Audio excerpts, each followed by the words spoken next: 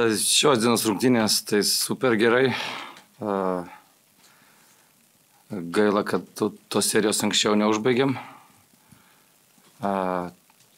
Tokį planą, kokį ir planavom per visas rungtynės, tai vis, jis visai kitaip veikia, kai komanda žaidžia su geresnė energija, su kartu, su palaikymu. Taip kad sveikinimai komandai. Taip pat noriu pasakyti, kad šiandien turbūt pirmą kartą manęs atbuvo tokia gal nebloga salė, fanai. Padėkoti fanams. Kai komandai nesiseka, aš galvoju, kad kaip tik fanai turi išlikti daugiau su komanda. Aš pats esu Manchester United fanas, bet komandai nelabai gerai sekas paskutinius kelius sezonus, bet kaip tikras fanas tengiuosi nusisukti nuo jos kaip blogai, tai tikiuosi, kad ir mūsiškiai mus tai palaikys.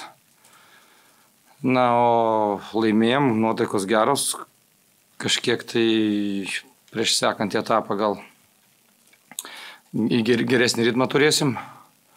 Gaila, aišku, kad dar turbūt Edgaras Ulanovas nuo pat pradžios negalės žaisti, bet uh, Tajus Websteris žaidė, žaidė su trauma, tikiuosi, kad jisai bus dar sveikesnis, dar jo koja bus mažiau ištinusi, taip kad uh, džiaugiuosi pergalę ir uh, žiūrim į Lietkabelį. Kaip ir pats paminėjot, Klaipėdui Neptūnas tikrai šitoje serijoje sunkia situacija įstumė Žalgirį. Ką dabar pasakė, tai kad žaidėjai tikrai turėjo gerą energiją šiandien ir tas jautėsi gynyboje. Na, Žalgiris buvo šiandien kur kas agresyvesnis nuo pat pirmų minučių. Gal ėmėtės kokiu nors išskirtinių, nežinau, motivacijos ar žaidėjų sportinio pykčio paieškų prieš šias rungtynės? Met, kokius metodus naudojot, kad išaiškint žaidėjim, kaip čia viskas yra slidu ir trapu? Na, tokį tą patį vadinamą sumaištinio principą kažkiek pabarėm, po to pagyrėm, bandėm, bandėm įlysti į vidų žaidėjų, bandėm šiek tiek um, daugiau turėti pozityvų negu negatyvo prieš paskutinės rungtynės. Jeigu grįžtant prie Neptūno, tai gerai kovėsi, tikrai slėpė savo ten silpnasias savybės, nes jie tokie geriau, geriau puola negu gynasi, bet labai kaitalioja gynybas stumia mūsų nepatogias padėtis. Na ir aš ten daug matų vyrų žinau.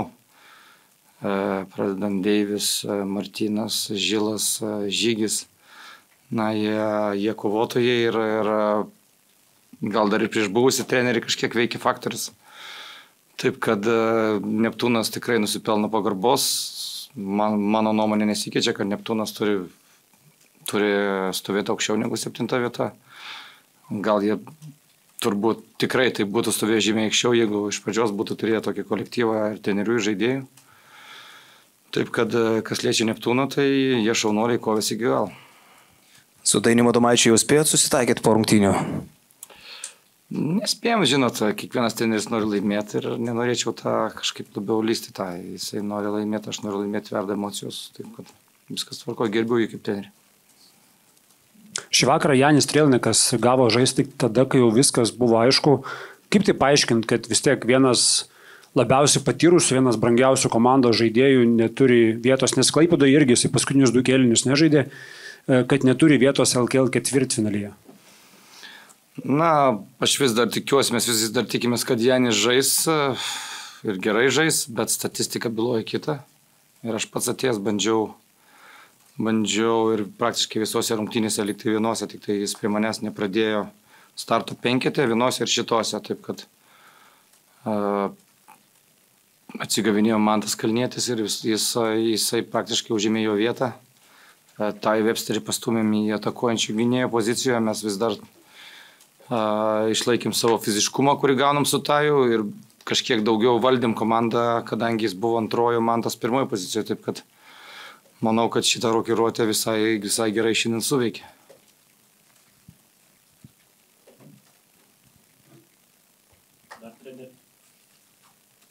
Dar treneri žvelgiant į ateitį, artėjančią seriją su Lietkabeliu, na pasiruošimui gana mažai laiko, tad kokie svarbiausi dabar aspektai būtų žvelgiant į tolimesnius iššūkius?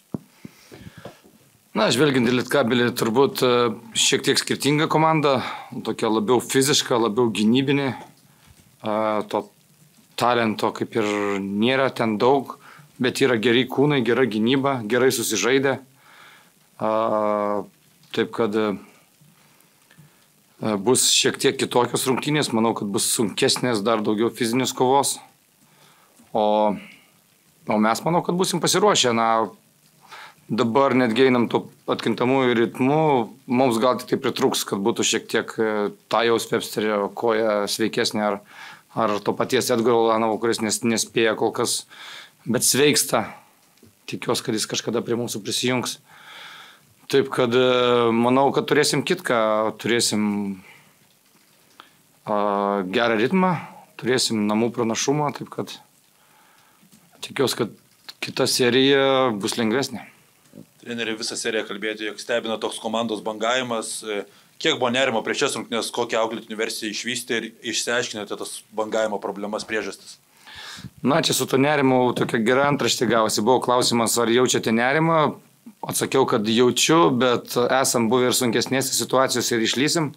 O antraštė gavosi, kad jaučiame nerimą. Taip kad Per ilgas sakinys turbūt. e, Daviau pats, pats jaunas dar padariau klaidų ir e, daviau per daug laisvės in- interpretacijų. Na, komanda nestabili patys matot. e, Iš mano pusės trys rungtynės buvo neblogos. Pirmas rungtynės, jų, jų paskutinis kilinys sugadino viską. Dvi rungtynės išvykai buvo visiškai blogos, taip kad bangavimas yra, aš čia neviniosiu žodžiu, žodžiu į vatą.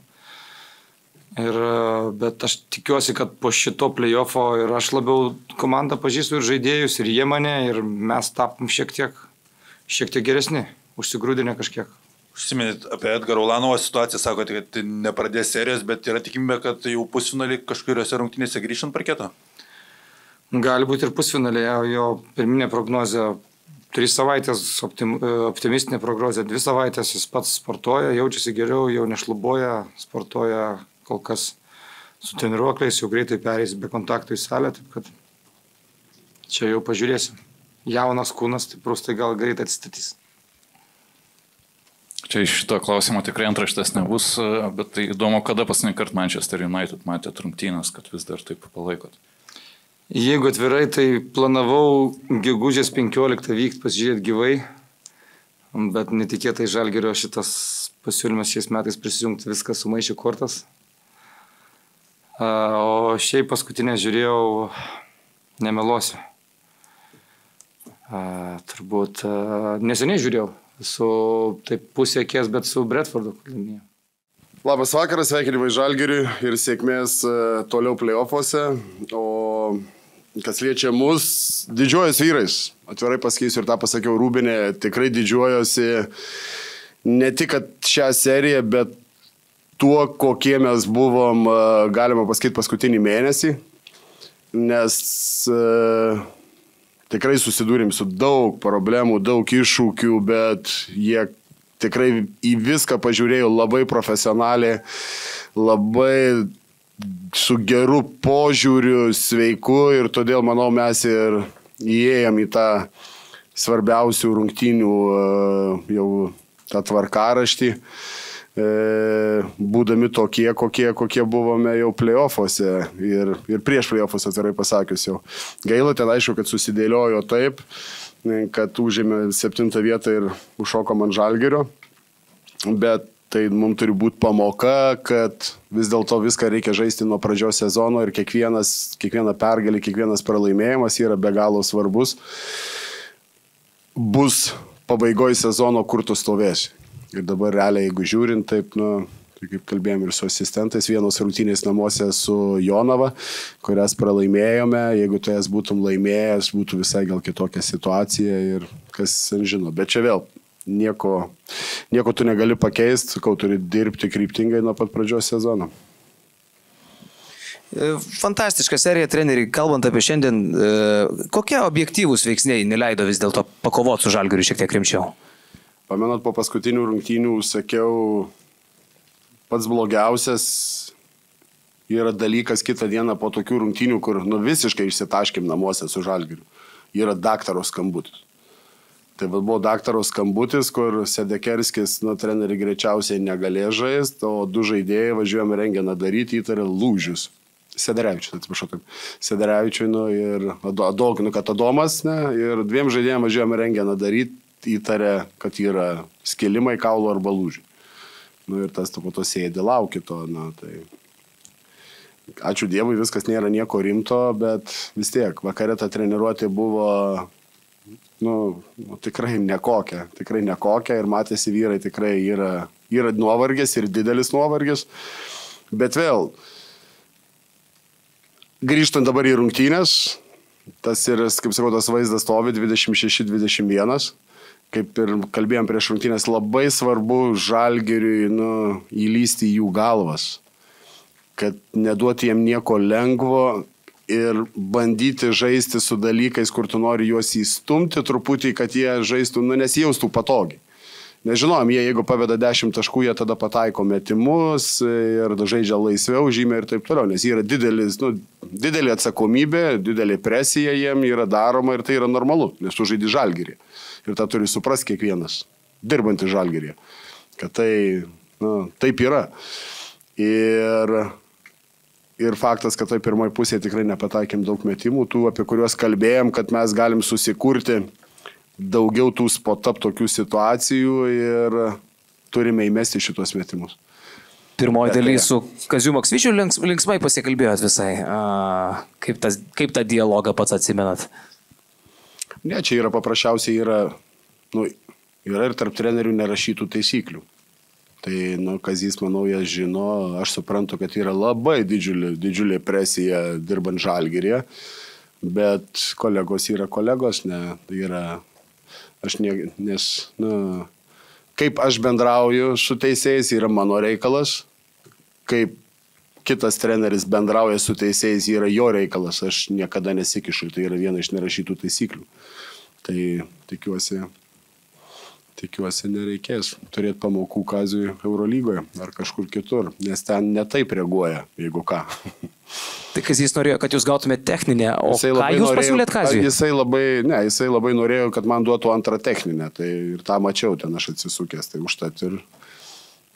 Ne, ne, aš pasakiau, kad užsim savo reikalais ir viskas, tai čia, nu, čia yra nu, normalu, yra emocijos ir taip toliau. Mes su Kaziu esam, ta prasme, kolegos, labai gerbiu Kazį kaip žmogų ir kaip e, trenerį, viskas tvarkoja čia. Ir čia yra normalu, čia nereiškia, kad dabar mes apsikoliojom per rungtynės, Ir dabar mes su Kaziu kažkokį tai darysit jūs čia priešų. Ne, to nėra. Jūs neįsivaizduojate su Šaru, kiek mes išsikoliodom. O esam vieni iš geriausių draugų. Tai. E, dar grįžtant prie e, šitų rungtynių, svarstėt, e, ar juokais, ar ne, nedaryt treniruotės vakarą. Dabar žiūrint, reikėjo, nereikėjo tą treniruotę ne, ta daryti. Treniruotė buvo tikrai be teipų, tik tai pasikartoti taktiką, truputį pakeisti kai kurias detalės ir tai buvo daugiau atstatomoji treniruotė. Tai jinai ten užtruko tikrai ten pusę valandos ir dar po to, kas norėjo susimesti metimų, bet nu ir buvo reikėjo kaip irgi pasižiūrėti, kas, kas kokiai kondicijoje yra. Tai, nu, nes po to, po, to, po to jau sprendėm dėl rungtynių. Porą kartų pakartojot, kad tam, kad neatsidurtų tokioje situacijoje, nebūti septintoje vietoje, reikia dirbti nuo sezono pradžios. Ar pats jau savo atsakėt klausimą, ar klaipėdoje liekat ir kitą sezoną? Turiu sutartį, Taip, man patinka situacija, man labai patinka Klaipėda, man labai patinka visa dabar, kas yra, nu, kaip ta atmosfera klube, nes tu dirbi jausdamas pasitikėjimą didelį. Tai yra treneriui, tu turi tikrai nu, darbo tą komfortą tokį nes tu gali nu, dirbti su savo idėjom ir taip toliau. Sėsim su klubo vadovybė, manau, už dienos kokios turėsim susirinkimą, atsisėsim ir pakalbėsim, kaip ta visa vizija, kaip nu, klubo, kaip aš įsivaizduoju, kaip uh, ką jie, ta prasme, irgi reikia žinoti ir koks biudžetas ir taip toliau. Nu, daug tokių detalių yra, kurios, nu, kol kas ne tas dabar buvo galvoje, atvirai pasakius. Mes buvom taip nusprendę, įsėsim po sezono ir pakalbėsim. Gal jie turi kitokių minčių kažkokių tai taip toliau. Tai tikrai, aš manau ir toks irgi fun faktas irgi e, klubo e, vadovai irgi prieš abejas rungtynes atėję e, žaidėjim susirinkimus pasakė irgi prieš, rungtynės, prieš pirmas rungtynės namuose, sako, padaro, laimit rungtynės, padarot, kad dar klaipėdai žaidžiam vienas rungtynės, turit ekstra bonusą. Nu, tai čia tikrai parodo, kad žmonės nu, gyvena, jiems svarbu yra ir taip toliau. Ir kai laimėjo, tikrai buvo tas begalinis džiaugsmas ir tikrai tos paskutinės rungtynės e, klaipėdai, kur susirinko, nu, tikrai ta atmosfera tokia, kur, nu, jinai užkuria visą komandą. Ir to, manau, klaipėda yra tikrai nusipelniusi tos tokios atmosferos, kad jinai būtų pastoviai, kad komanda nusipelniusi, kad ir Europos taurėse žaisti, nes yra visos sąlygos. Tai tas pats buvo ir prieš ketvirtas rungtynės. Atėjo, klausimų nebuvo, atėjo, Sigitas sakė, klausykit, laimėt, čia yra premija ir atsiskaitimas vyksta iš karto. Taip, super, super. Tai tikrai tie tokie maži dalykai, bet jie yra labai faini. Ir tikrai, tikrai džiaugiuosi, džiaugiuosi vadovybė, kad jie nu, tą tokį požiūrį, tokį gerą turi, tokį sportinį. Šį vakarą po rungtynių, kurį laiką bendravote su Paulium Jankūnu, jums tai buvo paskutinė akistata su Paulium kaip žaidėju, gal galit kažką, jeigu neatskleisti, ką su juo kalbėjo, tiesiog kaip atsiminsite jį kaip žaidėją? Taip, taip. Ir, ir atvirai pasakysiu, ir prieš rungtynės buvo ta tokia mintis, kad kažkam sezonas baigsis. arba man, arba Jankai, ne. Kas, kas laimės eis toliau. Tai. Tai ne, Jankį pirmiausiai tai norėjau, norėjau, pirmiausiai norėjau padėkoti jam už tą irgi, tą irgi etapą, kur e, buvau rinktiniai ir tikrai su juo bendravom ir tikrai ką jisai ir padėjo ir ką davė ir, nu, tikrai didžiausia pagarba. Antram, antras dalykas, tai, nu, tikrai norisi visada tokį žaidėją ir žmogų pasveikinti su tokia karjera. Tai yra fantastinė karjera, tai yra žiūrint iš sportinę pusę, tai ne tik laimėjimai, bet ir nu, atsidavimas žalgiriui, žaidimas vienam klube ir taip toliau. Tai yra, tai yra kaip sportininko geriausias pavyzdys, manau, kur tu gali, o vat, matot, vat Jankūnas kaip. Tu gali pateikti kaip pavyzdį. Bet dar, manau, svarbesnis dalykas yra tai žmogiškasis. Koks žmogus yra Paulius. Taip kad nu, tas jo žmogiškumas, tas jo tikrai tos tokios vertybės tokios nu, svarbios. Tai manau yra labai geras pavyzdys visiems jauniems žaidėjams. Tu gali jį statyti kaip pavyzdį, koks turi būti žmogus, koks turi būti profesionalas ir galiausiai, manau, turės fantastinę karjerą ir tolimesnę. Žalgerio klube bus geriausias, geriausias Europoje sporto direktorius. To ir palinkėčiau. Treneri, dar kalbant apskritai apie tą visą seriją, iš tikrųjų nelengva buvo ir spūdinga. Ką jūs, treneri, asmeniškai galėjote pasisemti iš šios serijos kaip krepšinio specialistas? Mhm. Ne, kiekviena serija jinai duoda, nu, kiekviena serija, kiekvienos rungtynės kažką tai duoda tų, tų pamokų, aš tai pasisemtos patirties, gal, gal vienas iš dalykų, manau, kad kad reikėjo daugiau pasitikėti jaunai žaidėjais, įsitraukti į rotaciją, tarkim, gal Mata, gal netgi ir e, Oskarą, tai gal tose penktose rungtynėse gal būtų buvę tos energijos, ta, nu, ta truputį daugiau mums, kas mums, nu, mums energija visiškai, mes buvom, nu, tikrai, kaip, nu, mūsų žalgeris nustumė kaip tokias, tok, nu, jie lipo į kalną, bet lipdami į kalną jie mus stumė žemyn, taip galima pasakyti, kas liečia energiją. Tai gal to, bet vėl, žinot, kaip yra, čia yra sprendimai. Jeigu būtum tą daręs, gal tu nebūtum prieėjęs iki penktų rungtynių. Tai va, yra sprendimai tokie, kurie visada nu, būna įdomu, po serijos visada persižiūri visas penkias, dabar reikės visas penkias rungtynės persižiūrėti ir garantuoju, kad iš kiekvienų įsitrauksiu tikrai tą, ką nu, ateičiai, o reikėtų geriau padaryti taip. Treneri, rimtai pačiupinėjot e, dabar Kauno Žalgerį, jų pusnarį laukia Panežė Lietkabelis, su kurie irgi nekartą šį, šį sezoną sutikote. Ar matėte kažkokių ryškių Žalgerio pranašumų šioje pusnalio serijoje? Žinot, vieną dalyką pasakysiu. Yra, e, yra prie Žalgerį tekę tų rungtynių žaisti vadovauti labai daug. Galiu tokį, tokį vieną tokį pavyzdį pasakyti. E, kai Šaras buvo Žalgerėje, ir e, žai, tu žaidži su žalgiriu. Na vis tiek tu žaidži su matšapais, mismečais, žiūri, kur tu gali atakuoti, kur geriau netakuoti. Tada būdavo, taip, pasižiūri greitai aikštelę, aha, kur atakuojam. Aha, Volkupas, ne, ne, Grigonis, o ne, ne, Ule, ne, irgi, Deivisas, irgi ne. Nu ką, lieka Vaitas.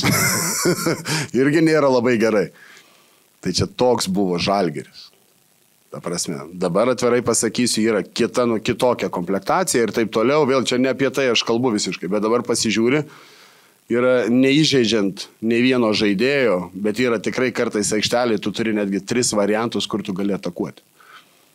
Neminint pavardžių ir taip toliau. Netgi kartais keturis turi. Tai va čia toksai, tas ir yra skirtumas ir yra, nu, žalgerio, ką aš manau, jiems žalgeriu bus sunkiausia su lietkabeliu, lietkabeliu žaidžia, tą turi tokį derinius ilgesnius su gerai dalinimosi kamoliu įeina iki paskutinio akcento derinyje, bet turėtų prieš tai būti padaręs gerą darbą gynyboje, ta prasme, eina, eina ir tada jie atakuoja. Jie tą daro tikrai labai gerai ir tai yra čia, čia jau Čanacho didžiulis tas e, įdirbis ir, e, kaip sakau, geriausias pavyzdys, kaip komanda žaidžia, kai treneris treniruoja 3-4 metus. Tai va, čia, manau, žalgeriui bus ta kantrybė gynyboje, nu, bus tokia didžiausias jiem iššūkis, manau. Bet serija bus gera, net nebejoju. Dar turbūt jūsų klaipėdiečių pavadinti neišeina, bet vis dėlto gal pastebėjote, kaip pasikeitė per šią seriją klaipėdoje nuotaikos e, susijusios su krepšiniu, nes atvykote, kai buvo uh, jau ne pirmi metai uh, nuoslugis toksai. Ir kaip pakeitė šitą seriją?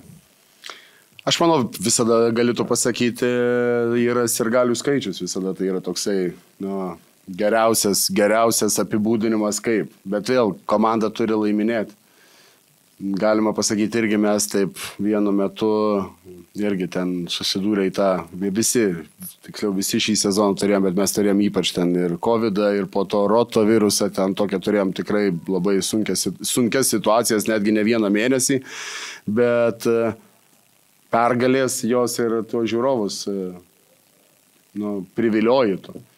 Tai aš manau yra labai svarbu, labai norėtųsi irgi, kad Klaipėda turėtų galimybę gal dalyvauti ar atrankoje kažkur Europos turnyruose. Tai yra labai svarbu žiūrovą, manau. Ir kitas dalykas vėl yra komandos kaip komplektacija, kad būtų ta jinai konkurencinga LKL. E. Ir aišku, mums iššūkis buvo šiemet namuose laimėti rungtynės, mes žymiai daugiau rungtynių laimėjom išvykoje. Tai, tai vėl, tai Aš manau, kad tos vis tiek pergalės irgi buvo tikrai labai gera pergalė prieš rytą buvo, kuri davė tokį tikėjimą ir po to tos antros namuose su žalgeriu, kurios vėl įpoti tą tikėjimą. Aš kaip sakau, nu, tu nelaimėsi rungtynių prieš stipresnį varžovą, jeigu tu netikėsi, kad tu gali laimėti. Tai va tas tikėjimas atsirado ir tas po to atsirado ir žiūrovų, tas tikėjimas komanda. Tai tas toks dvipusis. Ir dar ateina jie, duoda tą dopingą tokį, tą palaikymą, nu, sakau, tas paskutinės rungtynės namuose, tai, nu, Adomas, matėt, kas Adomui? Arba kada matėt žaidėją paskutinį kartą, kuris žaidžia, bėgioja ir jam sutraukia raumenis ir negali. Nu, kalnas gelbėjo pasiguldęs ant žemės. Tai yra, vad, kokie čia yra, nu, tai yra fantastika.